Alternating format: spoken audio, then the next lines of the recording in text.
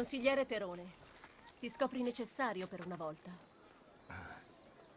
Mio re e mia regina, intrattenevo solo i vostri ospiti. Ne sono certo.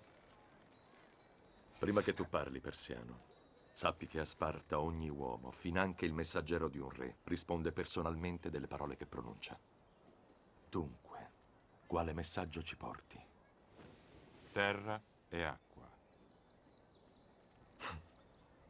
Tu sei venuto fin qua dalla Persia per terra e acqua. Non essere riservato né stupido, persiano. Non puoi permettertelo a Sparta. Perché questa donna osa parlare tra gli uomini? Perché solo le donne spartane partoriscono uomini veri. È meglio camminare. Raffredderemo le nostre lingue. Se la vita del tuo popolo vale di più della tua totale disfatta, ascoltami bene, Leonida. Serse conquista e controlla tutto quello su cui il suo sguardo si posa. La sua armata è tanto imponente da far tremare la terra al suo passaggio, tanto vasta che per abbeverarsi prosciuga i fiumi. Tutto ciò che il Serse, il dio re, richiede è questo, una semplice offerta di terra e acqua. Un segno della sottomissione di Sparta al volere di Serse.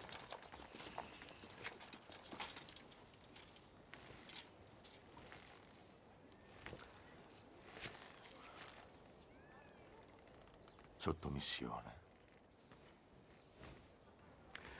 Questo può essere un problema. Vedi, si mormora che gli ateniesi si siano già rifiutati. E se quei filosofi, se quegli effeminati hanno trovato tanto coraggio, Dobbiamo essere diplomatici. E ovviamente gli spartani hanno una reputazione da difendere. Scegli le tue prossime parole con attenzione, Leonida. Potrebbero essere le tue ultime, da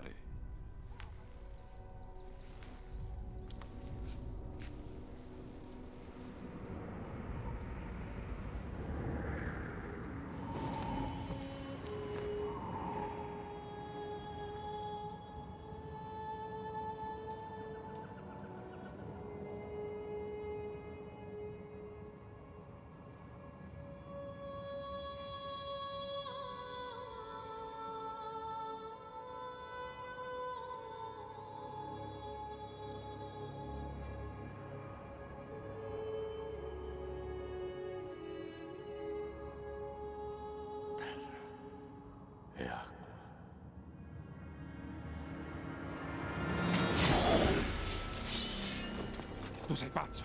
Pazzo! Terra e acqua. Oh, ne troverai in grande abbondanza laggiù.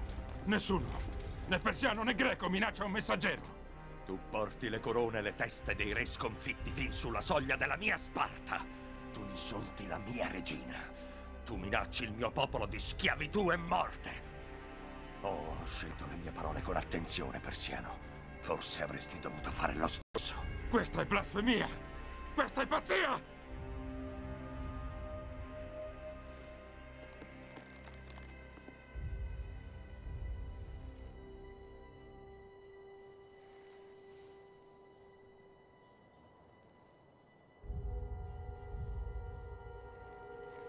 Pazzia? Questa è Sparta!